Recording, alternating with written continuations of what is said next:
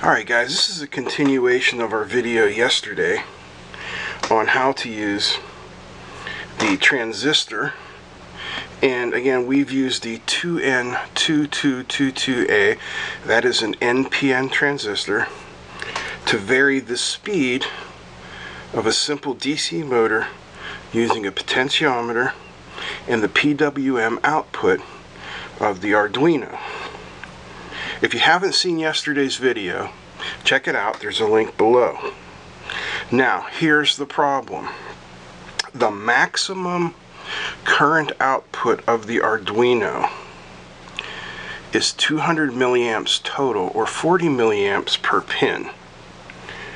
Now we are using a transistor and that's going to help us to not overload the Arduino which would be bad the smoke would come out. And if you know anything about electronics, they're powered by smoke.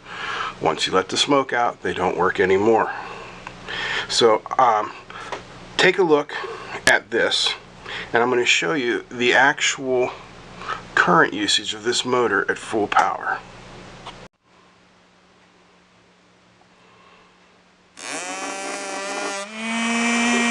At full power, we're looking at 540 milliamps.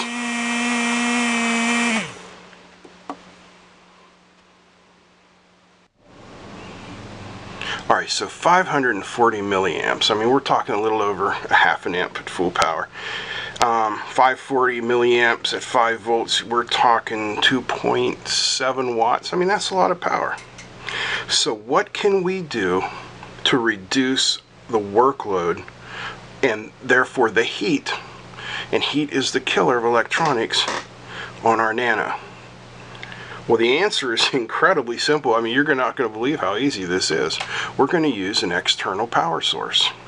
We're going to power our Arduino from the USB, but we are going to power our DC motor from an external power source.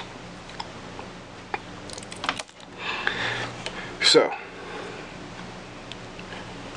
it's going to be really simple, but here's the one thing that you have to remember.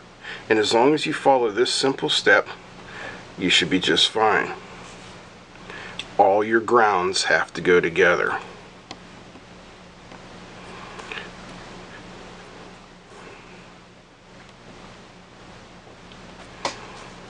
So this is the ground from our external power supply.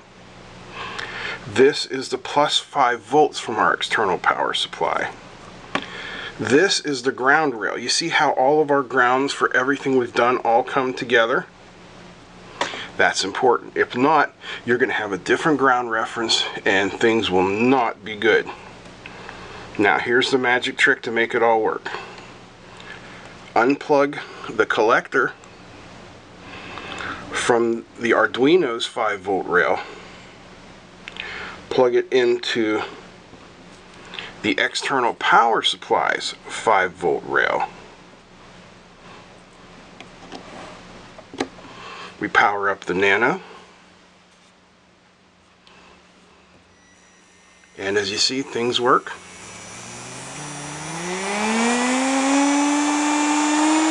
Beautifully.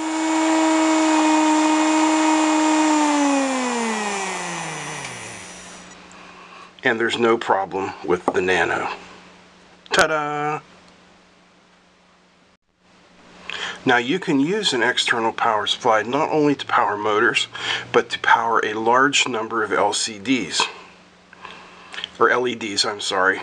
Um, you know, you can drive an LED at about 20 milliamps, so you're not going to have a hard time driving more than, you know, four or five total LEDs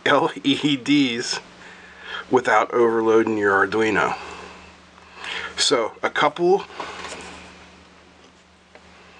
of simple NPN transistors.